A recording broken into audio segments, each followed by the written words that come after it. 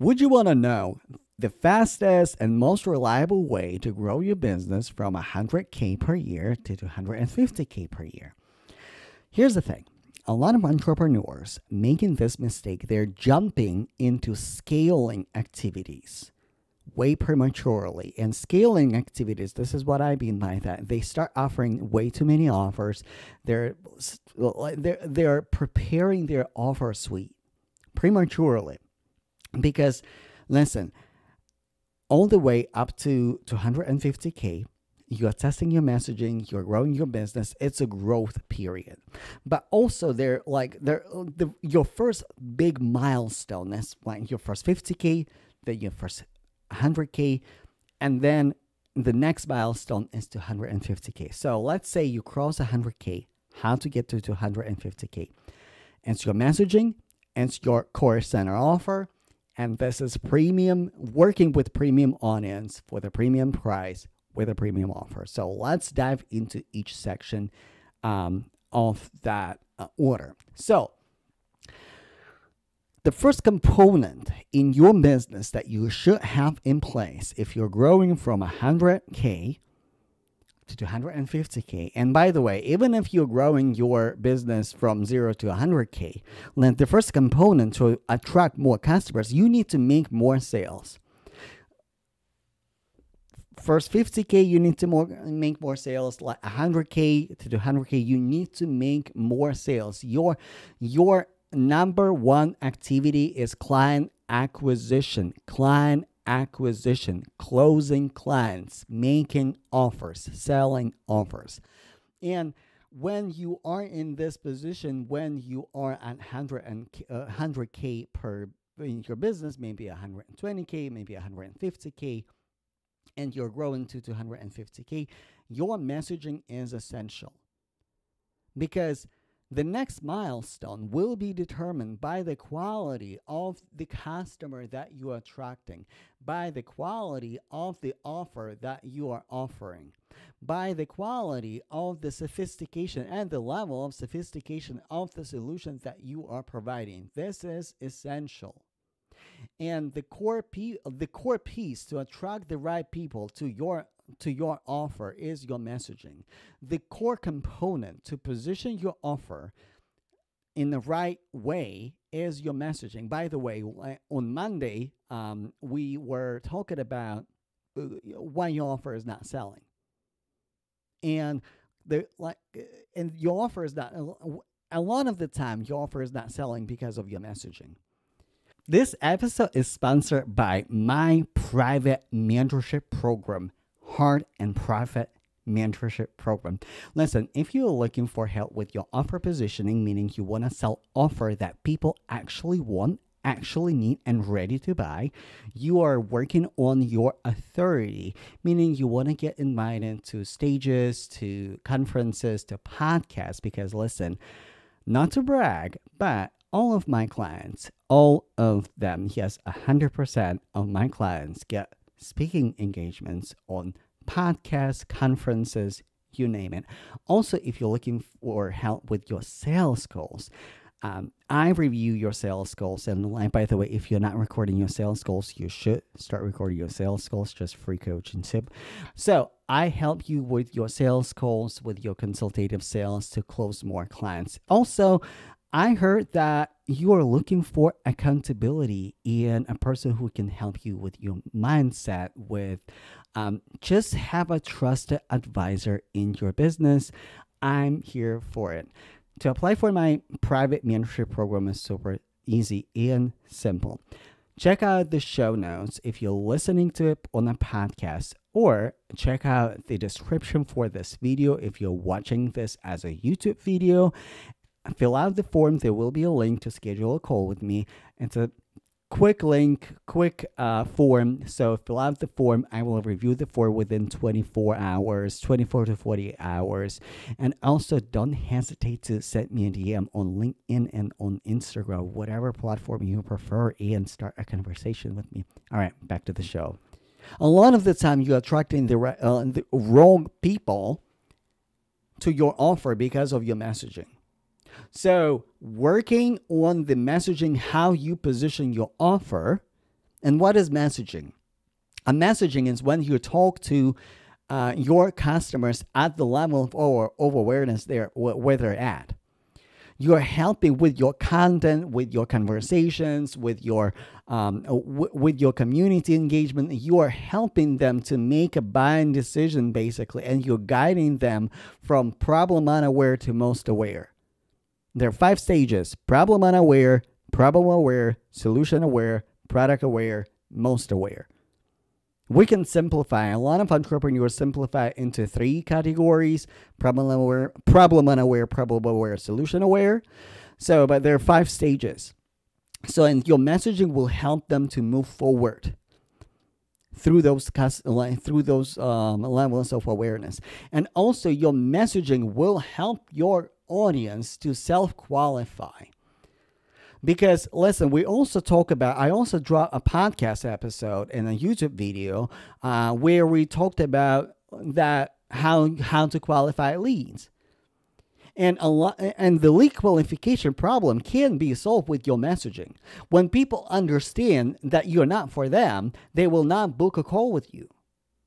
Sometimes people do not understand that you're not for them because your messaging is not delivering the right message to the people. Hence, you are in that with a lot of unqualified leads, people who cannot afford or n- neither can implement your solution quite fairly. And any money, good money. So the messaging piece is really important. Number two, this is that I see a lot. I understand that on the way to 250K, from especially from um, 100 uh, 100k to 150k we, we do a lot of testing. We do a lot of testing. We test our messaging. We test our audience. We we find the market fit. And th- this is normal. I just want to say that it is normal. If you're not getting your audience the right like right away if you're not getting your offer uh, like at the get-go. If it's if it's not working fast enough as you want it it's completely normal. You are like it's research in development okay? You're doing your research in development. Okay do i want to uh, sell more um, elementary offer, like people at the beginning of their journey, whatever you're selling, either you're a career uh, coach, either you're a fitness coach, either you are um, um, consultant or mentor, or do I want to go higher? And a lot of a lot of the time we are afraid to go higher because of our imposter syndrome. We are we are not confident in ourselves that we can go higher. We're not confident in our pricing that we can charge higher prices. Okay, so but this is like this is this is your man. You're pivoting your messaging, and uh, the best way to pivot your messaging is to test one component at a time because a lot when a lot of entrepreneurs um with the mistake that a lot of entrepreneurs are making right now they're making huge pivots huge shifts they're like up and then sell uh not i need to sell something else. They pivot like 360 and then it's not selling again. And then they pivot again 360 and it's not selling. Listen it takes time and learn how to enjoy the process. This this is something that I'm learning in my business because we as entrepreneurs we will fail more than other people will try. Let me say it again. As entrepreneurs, we will fail more than other people will even try. And let's enjoy the process. Listen, if you don't enjoy the if you don't enjoy the process of testing your messaging, testing your audience, testing your offers, like why why are you in entrepreneurship? Listen, it's okay. It's okay if it's not working out from the get go. It's okay if it takes several times, several tries, try again and again and again and again, and uh, finally it's not working. Also, front and center offer. Make the main thing the main thing. It's essential because a lot of entrepreneurs that like I talk online uh, with, um, they sell multiple solutions multiple offers. The worst case scenarios for multiple audiences. Listen, don't get me started on that. Like selling multiple solutions for multiple audiences is a marketing nightmare, okay? And just a marketing nightmare.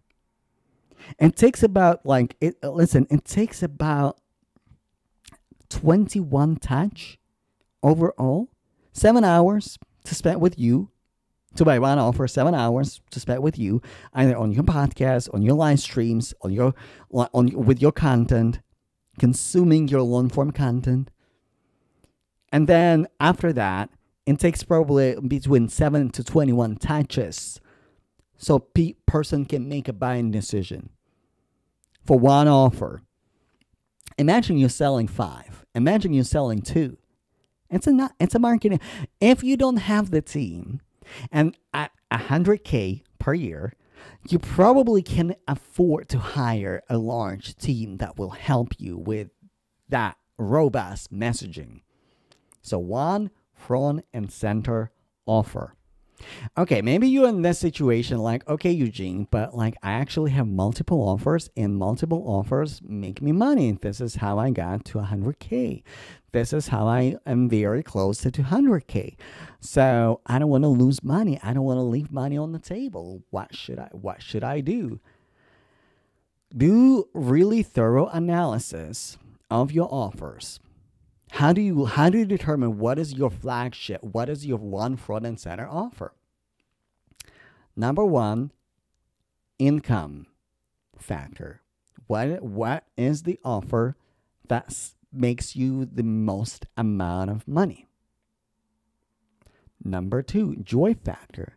What offer do you enjoy the most? Number three, alignment factor. What is the offer that you are most aligned with? And when you have all three, you have heart with profit. You have the offer that you create from your heart and make profit with the right strategy. It is a dream and it is possible. But also, I want to I want to make this caveat also, we are often pas- we often sell that what we are passionate about, and it's okay to have passions, but not every passion needs to be monetized. Sometimes you need to sell offer that you love you and you're with alignment with, and it comes from heart, and it's not necessarily your main passion, but it's a line offer. You like your offer. You should love your offer. If you don't love your offer, don't sell it because eventually you will you you are going to burn out. Eventually, it stops selling because you can't show up 100% as you, authentically, boldly, in alignment, spirit led. Okay? So something that you love is something that is in alignment and like in congruency with you, okay? Or in congruence rather. But also, maybe that offer that is profitable will fuel your passion. Maybe you are passionate about educating underrepresented groups how to start their businesses from zero to the, I don't know, like to first 100K. People who cannot afford coaching programs, people who cannot afford um, expensive mentorship. Solve rich people problem first, people who can afford it, and then fuel that. And then start nonprofit. You can fuel your passion from the profit of your business, but it comes from core and center offer. Offer that you like, offer that is in alignment, offer, offer that like comes with heart from the spirit and it's absolutely doable. It's absolutely possible to do, and it's a it's a market fit. And now, um, I don't know about you, but this is the data that I'm getting from my clients. This is the data that I'm getting from my business. For the love of everything, sell premium offer to premium audience. Let me say it again sell the premium offer to premium audience. Listen, just because you are new to entrepreneurship, just because you are doing entrepreneurship for like, I don't know, two, three years, and you think that you are too junior, too inexperienced in entrepreneurship, it doesn't mean that you should sell low ticket offer. It doesn't mean that you should sell just $97 membership. It doesn't mean that you should discount your services. You have the expertise. You have the expertise. You might be new to running your business and it's a, it's it's something that you're learning right now. But then like you have the expertise, premium offer. And also, let me connect with premium offer with the premium messaging. Your price is a part of your messaging. Your part is a part of your messaging. Alex Hormozi, in one of his books, um, I I have huge respect for Alex. Not a fan, but I gotta I gotta give credit what the credit is due, and he provides really this example in one of in one of his books, where uh, there was a test. The same wine was given to people, and one group of people was told that that wine was a premium level wine and the uh, at the very expensive price. And another people, and another group of people, was told that um, that wine was a, you know, like cheap wine from your, I don't know, liquor store, grocery store. The group that was told that it was expensive wine described that wine as a premium wine because the price that they were told that it cost influenced how they perceive the value of the offer. So your price, your price, how you price your services, it's a part of your messaging. Listen, if you are selling I don't know, like building wealth for $1,500, how to be CEO for $1,500. You're like, you are basically, you're trying to sell premium, premium level wine at the price of Walmart. And it's not how it works. And people don't see it as a premium offer. In fact, uh, let me give you an example. Um, I had a call with a person and uh, I dropped the price. I said, hey, like, um, this is the price. And uh, that person said, you know what? Like, this is so cheap. I don't think it's the right fit for me. I'm looking for a more sophisticated offer. Like, I'm like, I'm sophisticated business person and I'm looking for more sophisticated solution. As my offer was sophisticated solution for them, Yes. Can I get them to the next level? 100%. They didn't see it because of the price of the offer. They didn't see it, they didn't buy it because of the price of the offer. Listen, I don't get the objection often when people say, like, oh, that's too cheap. Um, but your price for your services might deter people from your offer even in this economic climate. And a lot of premium buyers, they want to buy that other people cannot afford because they want to be in a certain in a certain group of people to network with. And this is the major complaint that I hear from other coaches. Like, I want to be in a club. I want to be in a community that is the next at the next level of the financial income at their like at the level of sophistication and they will pay premium price for that because premium community is normally sold at the premium price. You may not like the fact that you know the price is a deciding can be deciding factor of the uh, offer sophistication, but it is what it is.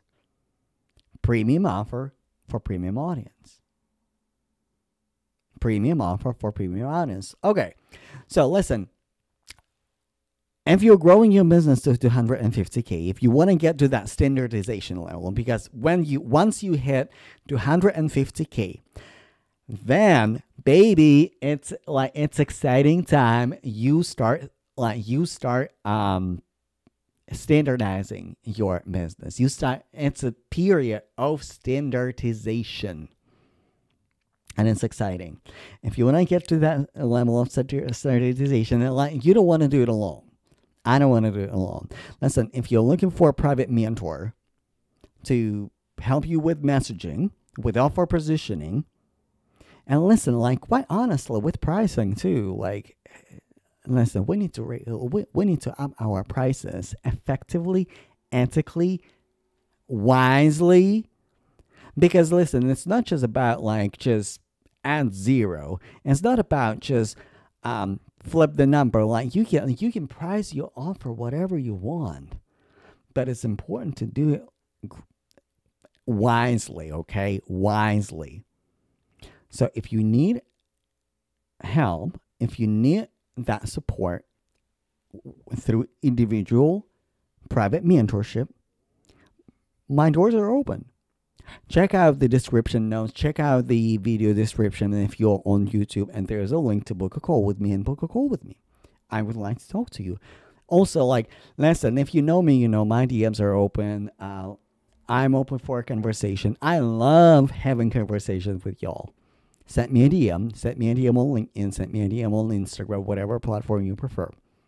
Okay, let's recap. Messaging, how to grow to 250K. Messaging, crucial. Messaging is important. Attracting the right people and the right, and the right level of awareness is important. Amen.